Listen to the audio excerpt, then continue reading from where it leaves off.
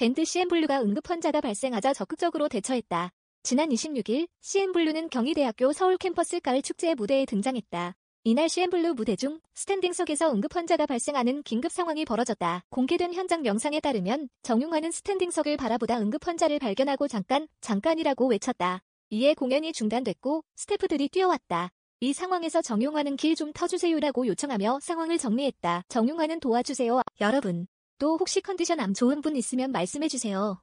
갑자기 사람들 많은 곳에 있으면 그럴 수 있어요람요. 물병을 관객석으로 던졌다. 갑작스러운 상황에 동요하는 관객들을 진정시키기 위함이었다. 이후에도 정용화는 상황을 보고하도록 할게요. 질서 조금만 지켜주세요.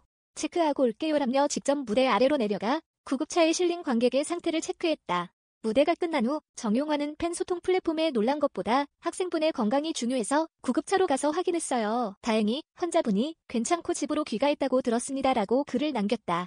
CN블루의 응급 상황 대처에 팬들과 누리꾼들은 뜨거운 호응을 보내고 있다. 이들은 정용화 멋지네요. 프로의식 대단하다. 갑작스러운 상황인데 대처를 너무 잘한다. 역시 14년차 프로 아이돌 CN블루 멋지다 등의 반응을 보냈다. 한편 CN블루는 2010년 1월 데뷔한 FNC 엔터테인먼트 소속 3인조 밴드 보이그룹으로 리더이자 보컬과 기타를 맡고 있는 정용화, 드럼 강민혁, 베이스 이정신으로 구성돼 있다. CN블루의 대표곡으로는 외톨이야, Love Girl, 사랑빛, 캔트스탑, 직감 등이 있다.